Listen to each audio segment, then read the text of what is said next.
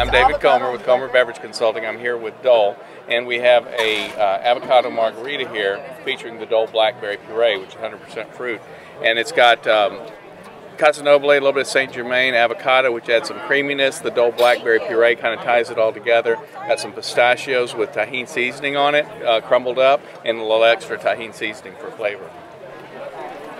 Hi, I'm Barbara Aiken with Commer Beverage, and we have the cucumber chili mango switchel.